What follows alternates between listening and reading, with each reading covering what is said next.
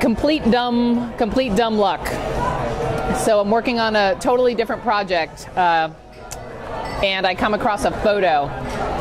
I'm going to show it to you. I come across a photo, this photo right here. Can you zoom in on that? And so I see this photo, and it's by a man named Ed Westcott.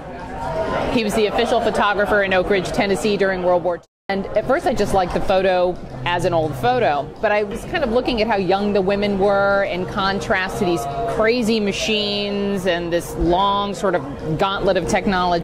The text accompanying the photo said something along the lines of These young women, many of them recent high school graduates from rural Tennessee, are helping enrich uranium for the world's first atomic bomb, only they don't know that at the time.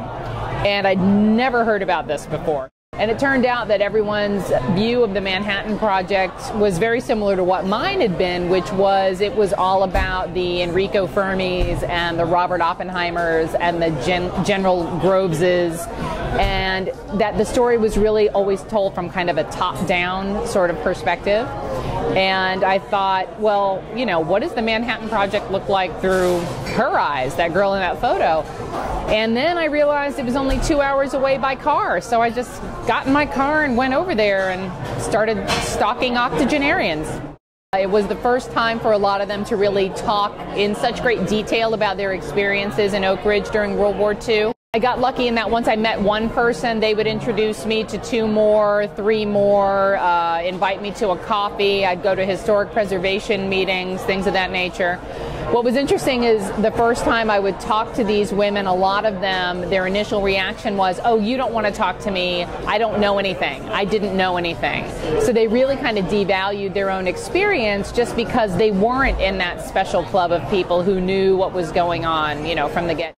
Once you got them talking, it seemed to me they were really kind of, you know, anxious and relieved to be able to talk um, to such great extent about what was a very unique moment in their lives. Not just because they were working on the Manhattan Project, but also just because they had survived World War II. I keep billboards and, or rather, you know, uh, what do you call them? Bulletin boards up.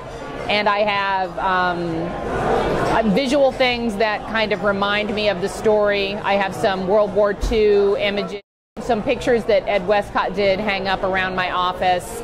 Um, on one part of my desk are uh, is my Wonder Woman Pez and my Statue of Liberty M&M dispenser.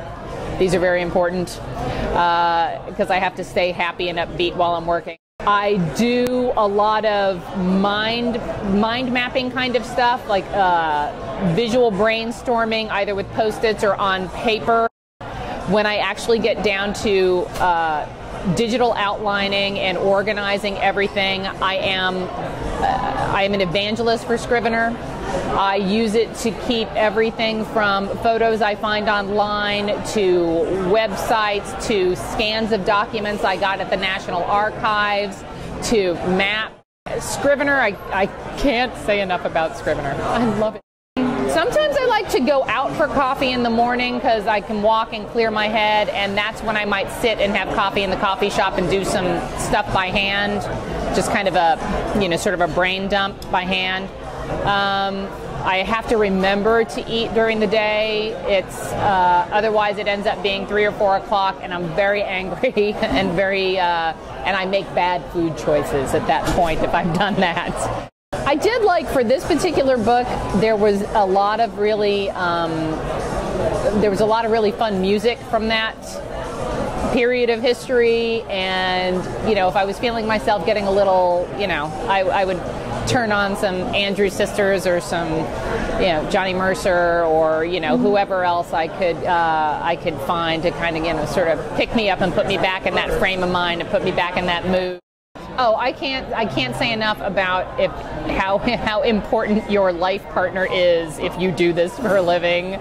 Um, my poor, long-suffering husband, who also happens to be uh, an author and a journalist, that is a godsend because we have this ability to be very hard on each other, but in the kindest possible way because we're both so invested in each other's success. It's a huge asset to have him there, and I, I lucked out in the hubby department in that respect.